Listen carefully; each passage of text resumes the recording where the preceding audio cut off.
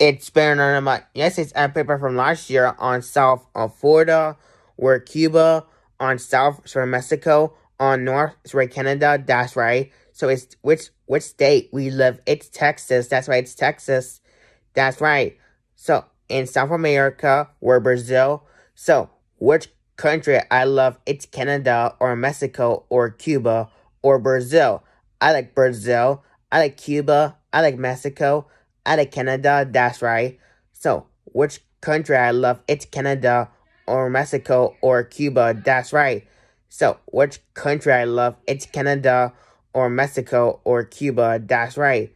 So which country I love? It's Canada or Mexico or Cuba. That's right. So, so what's up, Kelly? Maybe what's up, Kelly?